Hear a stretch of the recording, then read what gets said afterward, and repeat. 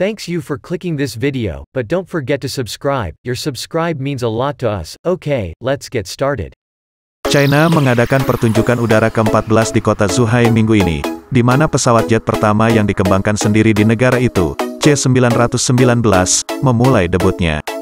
Pembuat pesawat, perusahaan pesawat komersial China, COMAC, menandatangani pesanan yang dikonfirmasi untuk 300 pesawat C-919 dan 30 pesawat ARJ-21 dengan 7 perusahaan leasing. Meningkatkan perkiraan permintaan pesawat selama 20 tahun. Mahkamah Agung India menegakkan undang-undang yang mengizinkan 10%.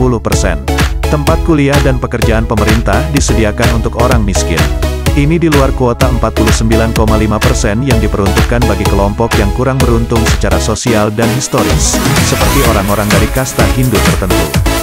Di bawah undang-undang baru, orang miskin, bahkan dari kasta atas, akan mendapatkan preferensi.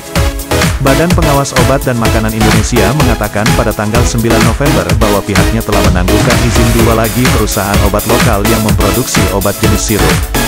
Negara itu sebelumnya telah melarang penjualan obat-obatan tersebut karena dikatakan telah menyebabkan kematian hampir 200 anak karena cedera ginjal akut. Dana Moneter Internasional, IMF, untuk sementara menyetujui program dukungan senilai 4,5 miliar dolar untuk Bangladesh pada tanggal 9 November dengan Menteri Keuangan negara itu mengatakan kesepakatan itu akan membantu mencegah ketidakstabilan ekonomi meningkat. Menjadi krisis. Reuters melaporkan bahwa ekonomi Bangladesh senilai 416 miliar dolar telah menjadi salah satu pertumbuhan tercepat di dunia selama bertahun-tahun. Namun kenaikan harga energi dan pangan, yang dipicu oleh invasi Rusia ke Ukraina, bersamaan dengan penyusutan cadangan devisa, telah membengkakkan tagihan impor dan neraca berjalan.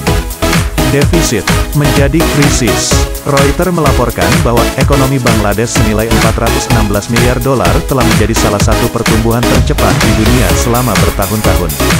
Namun kenaikan harga energi dan pangan Republik Rakyat Demokratik Korea, DPRK, Republik Rakyat Demokratik Korea, DPRK, pada tanggal 9 November menembakkan rudal balistik ke arah timur.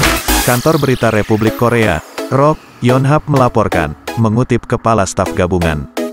Militer ROK mengatakan, mendeteksi peluncuran dari daerah Sukchon di Provinsi Pyongan Selatan sekitar pukul 15.31, mengacu pada badan air yang juga dikenal sebagai Laut Jepang.